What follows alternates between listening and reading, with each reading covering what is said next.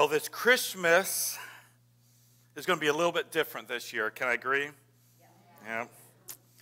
I mean, the plans that you had last Christmas for families to get together, it's just going to be a little bit different.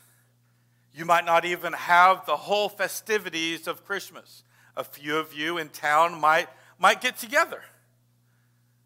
There might not be people coming from out of town that you've seen just on social media or you've seen through Zoom or you've seen through technology. You know that they're good, but you want to see them, you want to hug them. You want to give them a big old high five or a noogie on the head. Christmas is going to be different.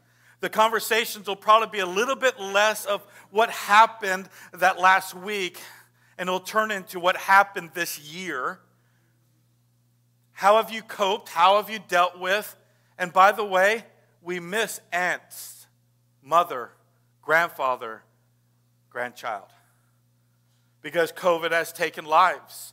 And not only COVID has taken lives, just life in general has taken lives. This Christmas, it might be a little bit different. Because people that you know near and dear are not long not with you anymore. This Christmas is going to be different. The walking around doing Christmas carols, other than on Zoom, will be a little bit different. The Christmas Eve services, the things that you are used to, will be a little bit different.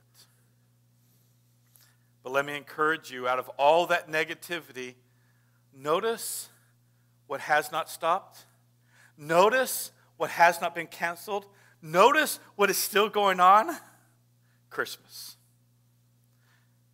Churches has closed, businesses have closed, things have shut down, things are different, but Christmas is not.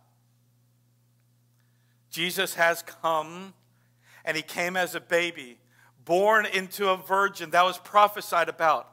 But this virgin birth, as we're about to find out, is not this calm, collective, everything's okay.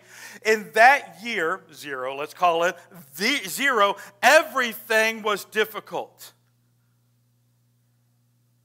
You today will probably will be able to relate more than ever before the Christmas story.